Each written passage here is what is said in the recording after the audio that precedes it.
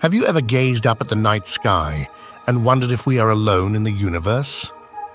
This question, an existential puzzle that has tickled the curiosity of humankind for millennia, is not as simple as it seems.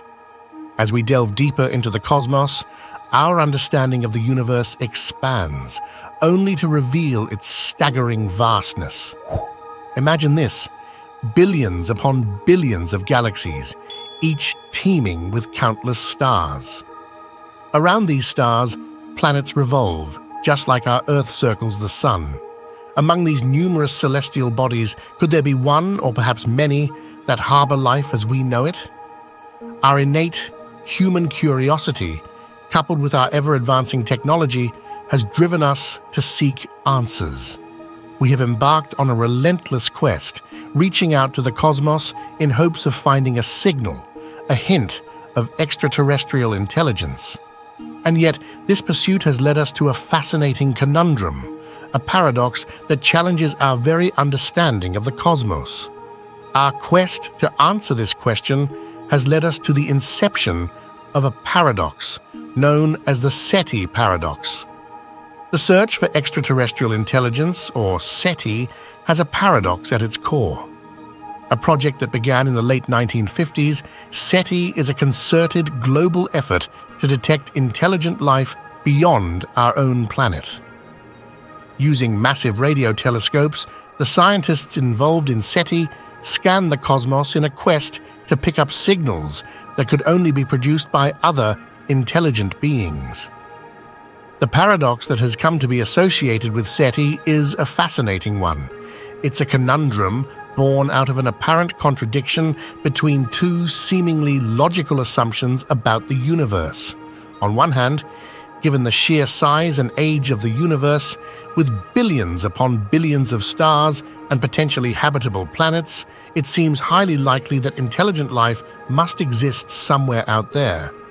Our own existence on Earth stands as a testament to that possibility. Yet, on the other hand, despite decades of searching, we have yet to find any evidence of extraterrestrial intelligence. No signals, no messages, no signs of life beyond our own. This contradiction, this paradox, is essentially the crux of SETI's mission. It's the question that keeps the scientists involved in the project awake at night.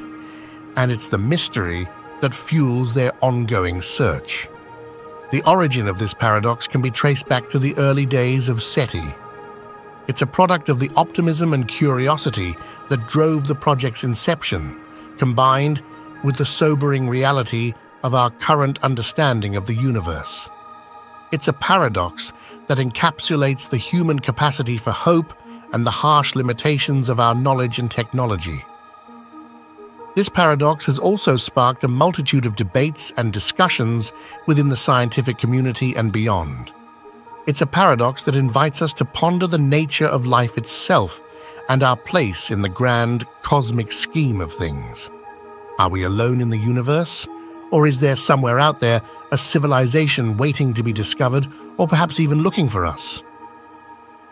This paradox has puzzled scientists and space enthusiasts alike.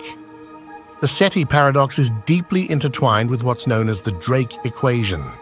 The Drake equation, named after its creator Frank Drake, is not simply an equation, but a conversation starter, a way to frame our thinking about extraterrestrial life.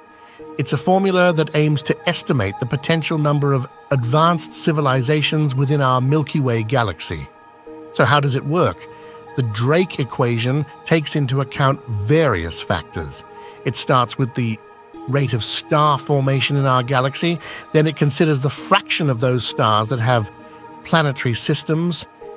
Next, it looks at the number of planets that could potentially support life as we know it.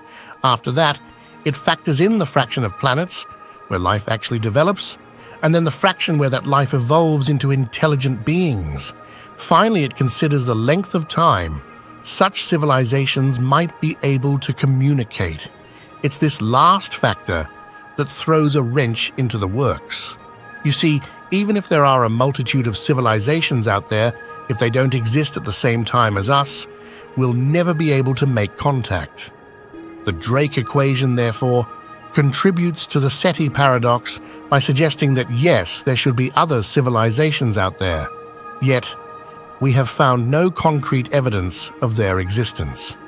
This lack of contact, despite the seemingly high probability, only deepens the mystery of the SETI paradox. Some argue that the Drake equation is overly optimistic.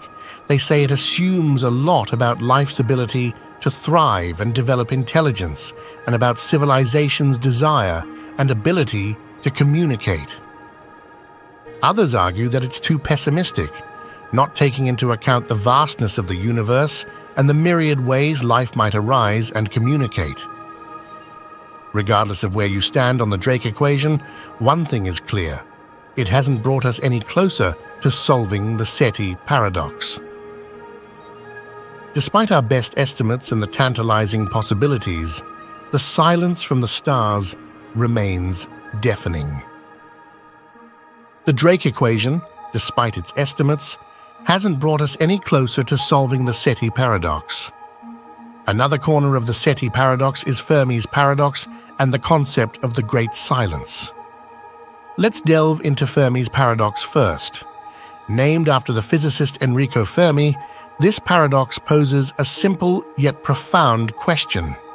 If there are a multitude of technologically advanced civilizations in the galaxy, why haven't we detected any signs of them? This quandary becomes even more perplexing when you consider the sheer scale of the universe. With billions of stars in the Milky Way alone, each potentially hosting habitable planets, the odds seem to favor the existence of extraterrestrial life. But here's where the paradox lies. Despite the statistical likelihood of intelligent life elsewhere in the cosmos, we have yet to receive any alien transmissions, discover any interstellar artifacts, or observe any telltale signs of cosmic engineering. This contradiction between high probability and zero evidence is what defines Fermi's paradox. Now let's talk about the Great Silence. This term refers to the puzzling lack of observable evidence or signals from extraterrestrial civilizations. The universe, it seems, is eerily quiet. Some posit that advanced civilizations are avoiding contact, perhaps to allow lesser developed societies to evolve naturally. Others suggest that we may not be listening properly or that our technology is not yet sophisticated enough to detect these alien communications. These concepts of Fermi's paradox and the Great Silence further complicate the SETI paradox. They highlight the tension between the high probability of extraterrestrial life and our ongoing failure to find any evidence of it. They underscore the challenges we face in our quest to answer one of humanity's oldest questions Are we alone in the universe. Despite the vastness of the cosmos and our persistent search for extraterrestrial intelligence, we have yet to find a single sign of life beyond Earth. So, the mystery persists. We listen and we search, ever hopeful, ever curious. Despite our best efforts, the Great Silence remains, deepening the mystery of the SETI paradox. There are numerous theories attempting to explain the SETI paradox. First up, the zoo hypothesis. This theory suggests that advanced extraterrestrial civilizations are out there, watching us, much like we watch animals in a zoo. They might be aware of us, but choose not to interfere or make their presence known, preserving Earth and humanity in its natural state. It's a thought that's as fascinating as it is unnerving, isn't it? Then we have the gloomier proposition of the self-destruction of intelligent civilizations. This theory proposes that any civilization advanced enough to reach out into the cosmos is also likely to develop technology capable of their own destruction. Nuclear warfare, environmental collapse, biological disaster. The list is depressingly long. Might the silence we encounter be the tragic norm rather than the exception? Another intriguing theory is the transcension hypothesis. It posits that once a civilization reaches a certain level of technological prowess, they ascend or transcend. They might leave our universe entirely, moving into other dimensions, or they might become so small and fast that they're effectively invisible to us. Perhaps they're here in ways we can't even begin to perceive. We also have the idea of the Great Filter. This is the notion that at some point in the evolution of a civilization, there's a hurdle or filter that's incredibly difficult to overcome. It's a barrier that wipes out most, if not all, civilizations that encounter it. Have we passed it, or is it still looming in our future? And lastly, the concept of civilizations being too advanced for us to recognize. They might be communicating in ways we can't yet comprehend, or their signals are indistinguishable from the cosmic background noise.